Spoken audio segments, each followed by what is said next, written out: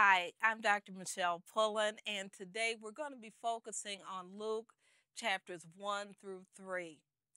Luke 1 starts with the angel Gabriel coming to two individuals, bringing a miraculous message. And we have two different responses. So when Gabriel comes to the priest Zechariah, he and his wife Elizabeth, they had been married for a long time and they were childless.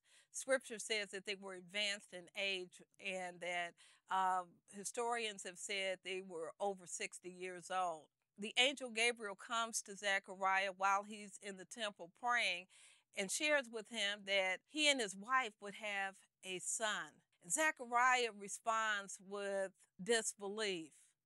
How could this happen? We're in advanced age. And as a result, Gabriel says, This is going to happen. But because of the fact that you didn't believe, you won't be able to speak until the baby is born. Six months into Elizabeth's pregnancy, Gabriel comes again and he goes to Mary. Historians have said that Mary is between the age of 13, 14 years old. And he shares with her that she will be the mother of Jesus her response was quite different than Zechariah. And she says, Well, how can this be? And when Gabriel says that the Holy Spirit will come upon her, she gets excited. And she says that whatever God wants me to do, I'm available. Two different responses to two miraculous messages. Gabriel also says with he shares with Mary that with God all things are possible. This is found in the first chapter of Luke. When we get to the second chapter of Luke, we find that Jesus' birth and that the angel comes to shepherds and he shares with the shepherds that the birth of Jesus has taken place. The shepherds respond by immediately stopping everything that they're doing and they go to the baby.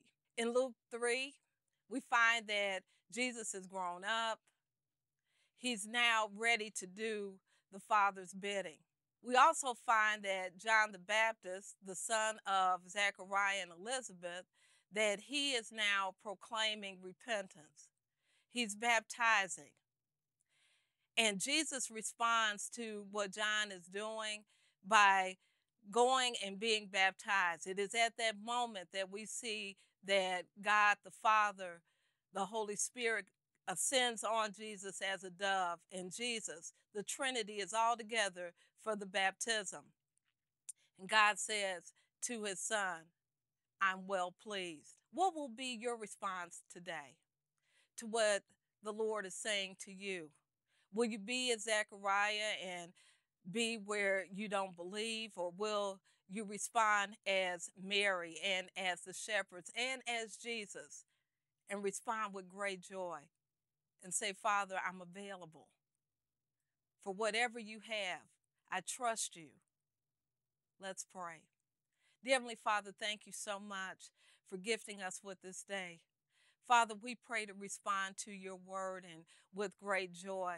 As Mary said, my soul does magnify you. Father, we pray to magnify you in everything that we say and do today. Father, we pray that every time that we think about all that you've done for us, that we will rejoice and be glad in this day. Father, we thank you and we praise you. It's in the name of Jesus we pray. Amen.